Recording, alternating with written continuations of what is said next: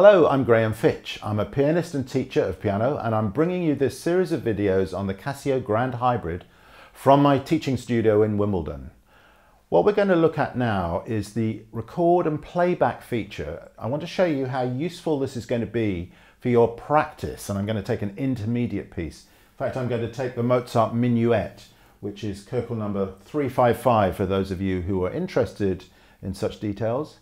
And I'm going to show you how I can record it and then when I listen to it back, I've got a little practice checklist here where I can note those things that haven't quite worked um, that I might not hear when I'm actually playing it.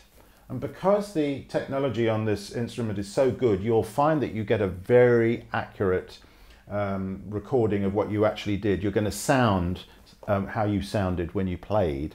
There's no distortion, there's no funny uh, background sound. So from that point of view, it's a very faithful and accurate example of, of how I sounded.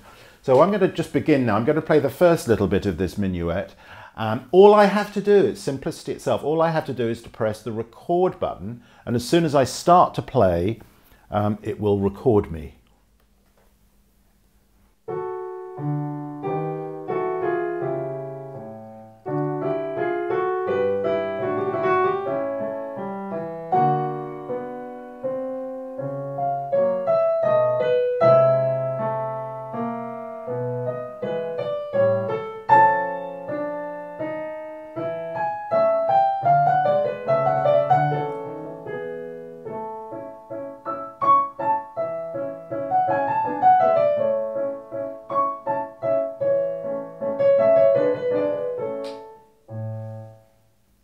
Now I turn that off and what I'm going to do is to listen back to what I did.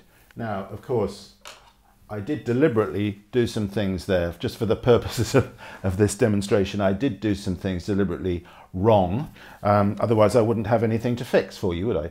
So what I'm going to do now is as I listen back, I'm going to make little notes on what I wasn't entirely happy with.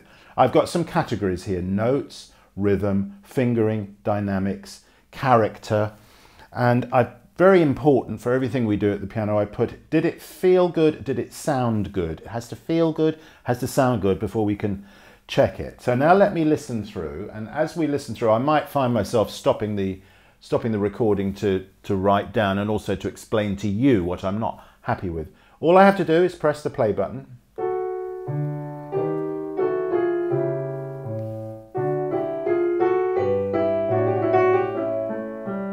Right, now the first thing I'm not happy with in that first phrase is my balance in the right hand was wrong.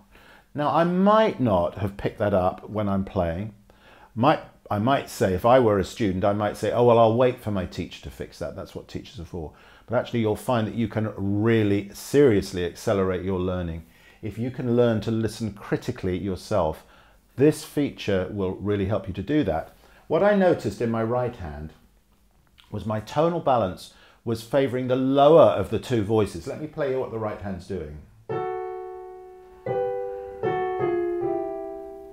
Do you hear that? Parallel thirds. And what I want to do is to make the upper third just a little bit stronger than the lower third so that I can hear it. Remember the rule of the piano, the lower the note, the greater the resonance. So if I'm wanting to hear a tune on the top and a shadow on the bottom,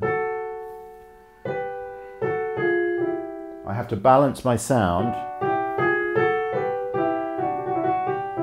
Did you hear the difference there between that and this, the old way?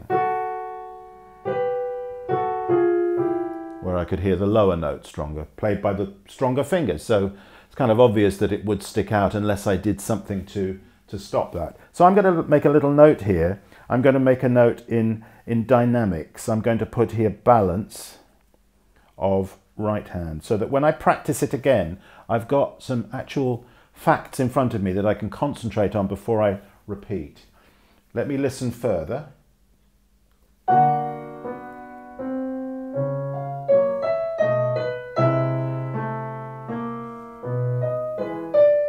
See, what I'm picking up from that uh, very clearly is that my dynamics have got so smoothed out, I can't really hear the difference between the forte and the piano. So I'm going to put here under dynamics again, forte piano contrasts. Now, one other thing I noticed when I listened back to it that I wasn't aware of when I first played it is that the character is just a bit sluggish. It feels a bit Monday morningish to me, and I want it to dance a bit more. So if I put here, feel um, strong first beat, and move a little bit. Let it move a little bit further. Now I could go on, but I won't. I think this gives you an idea of how to use a practice checklist so that now I could go back and play it again, um, hopefully with all of those issues addressed.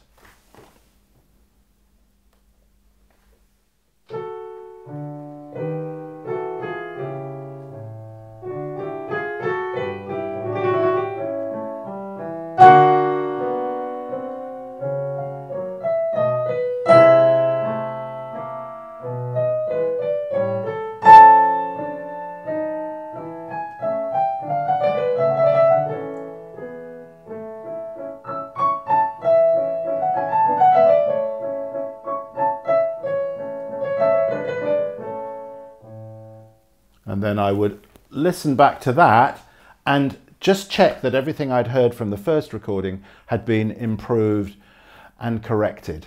This makes practicing really productive and actually really interesting and absorbing. And you could go on and do that process for as many times as you wanted until you'd got the result that you were happy with.